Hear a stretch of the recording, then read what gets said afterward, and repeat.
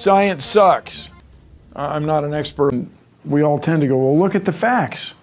Change your mind. But it takes people a couple years. By the end of this century, if emissions keep rising, the average temperature on Earth could go up another four to eight degrees. What I'm saying is the planet's on fucking fire. There are a lot of things we could do to put it out. Are any of them free? Of course not. Nothing's free, you idiots. Grow the fuck up. You're not children anymore. I didn't mind explaining photosynthesis to you when you were 12, but you're adults now, and this is an actual crisis. Got it?